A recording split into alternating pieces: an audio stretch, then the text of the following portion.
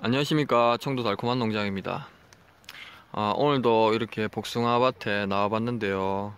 저희 복숭아는 아, 한 꽃이 한 3, 40% 정도 폈는 것 같습니다. 아, 그리고 오늘 제가 말씀드릴 거는 음, 약재 살포하는데 어, 이제 궁금해 하셔가지고 또 올려봅니다.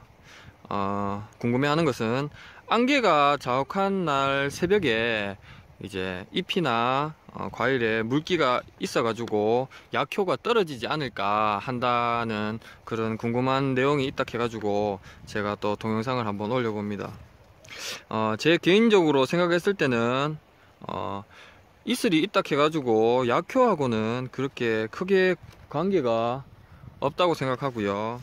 그 이유는 안개가 자욱하게 깔리고 이래도 음, 아시다시피 이제 잎이 차곡차곡 있고 이러면 이제 윗면에만 있지 뭐 그 잎 안쪽까지도 어 안개가 들어가지 않고요. 물기가 이제 촉촉해도 어 물이 뚝뚝 떨어질 만큼 그 정도 양이 되지 않기 때문에 괜찮지 않을까 생각합니다. 약효하고는 그렇게 뭐 문제 되지 않을 거라고 생각하고요.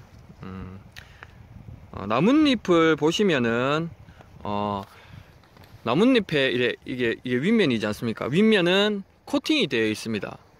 이쪽으로는 어, 코팅이 되어 있기 때문에 맨들맨들하죠. 거기에서 어, 충이나 균들이 어, 이렇게 침투하기가 좀 힘듭니다. 근데 잎 이렇게 뒷면을 보시면 까끌까끌하고 아 그렇죠 거기에는 잎의 기공이라고 하는 곳인데요 잎이 숨을 쉬고 어, 이러는 곳이죠. 그 좀 약하단 말이죠. 그렇기 때문에 그 부분으로 이제 어, 충이나 어, 균들이 침투합니다. 어, 그러면 잎의 윗면으로 약이 많이 가야 되겠습니까? 아니면 뒷면으로 약이 많이 가야 되겠습니까? 당연히 뒷면으로 많이 약이 가야 되겠죠.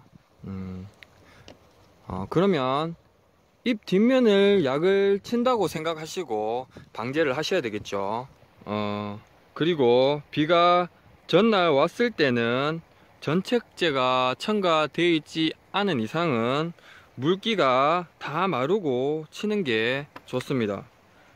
비는 있으라고 비교할 수 없을 만큼 음, 수분량이 많기 때문에 어, 기공 쪽이나 잎 과일 등에도 물기가 엄청 있기 때문에 약효가 떨어질 수 있습니다. 어, 그렇기 때문에 비가 왔을 경우 전날 비가 왔을 경우는 어, 해가 뜨고 물기가 어느 정도 마른 상태에서 약을 방지하는 게 좋습니다.